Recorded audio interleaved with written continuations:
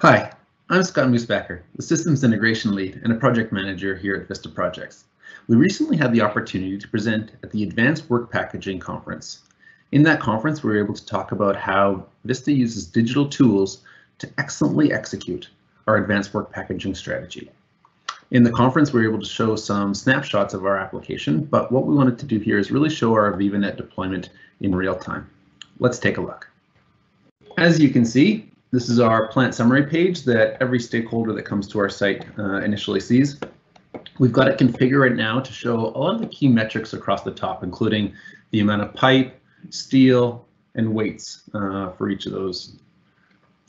When it comes to advanced work packaging, though, what really comes of interest is the area package, modules, and CWPs. We've got them all listed out here, as well as the CWPs by discipline if we want to be able to view this data differently, that's where the tool really becomes handy. If we wanted to, for example, just look at area 7, we would click on area 7 and it would pull up only those construction work packages that pertained particularly to those disciplines within that area. We've also got it sorted by equipment type so you can get an appreciation for how much is there and it also updates our steel weights and pipe weights as we go through. If we want to dig deeper into our uh, work breakdown structure and what we can see, we would go into our work breakdown summary here you can see we've got 572 modules across our facility. Each of the modules has been sorted into an area package and each area package has been sorted into an area. If we wanted to be able to get an appreciation of uh, which modules are in which area, we can simply take the area, drag it up to the top here, and then you'd have all the modules cleverly sorted out by area. So for example, if we wanted to see what modules were in area two, we would expand area two, and we would go through here. The other thing I wanted to note as we go through is all of these blue items here are hotspotted. So you'd be able to go directly to the module or to the area package that pertain to you. And we'll look at that in a few minutes. If you wanted to sort this data differently and look at the area package, you could pull the area package up here. And as you can see, we'd have 97 different area package and each of the modules would be assigned to one of those particular area packages. We can bring that back down. The other nice thing is, especially when it want to uh, devise a lifting uh, strategy at site, we're able to uh, cleverly, you know, sort all this information by weight, so that you could come up with a lifting strategy, understand which which modules had the largest piles, and what this really does is it helps us understand what the constraints and what the largest loads are, so that we can proactively uh, adapt to those during our design.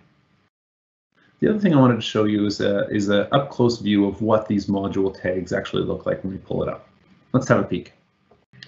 So as you can see, this is our module page. We've got all the details for the module across the top here, uh, including the module name, which site work area it falls under, and the, the major pieces of equipment that are uh, part of that. We've also got our 2D drawing that we can move around and manipulate, and our 3D model, which again is manipulatable within here to be able to view it from different angles and perspectives. And the last thing that we found was most applicable for advanced work packaging, which we've displayed here today, is our MTO for uh, all the different aspects of this skid, uh, of this module, I should say. So we've got our piping, we can easily sort to our grading and our steel. As you can see, all of the information is here. It's in a highly uh, standardized format. And so what we can do is we can uh, either export this directly from the database or uh, if a user was more interested in having it directly from here, you're able to export it from Excel and open it up in Excel. So that's our demonstration model. Thanks for joining me. I hope you're able to see how this could apply to almost any AWP style implementation uh, by having really robust data sets that you're able to easily manipulate and change and be able to really understand at whatever granularity uh, that you need for your projects. If you've got any more questions, please give us a shout.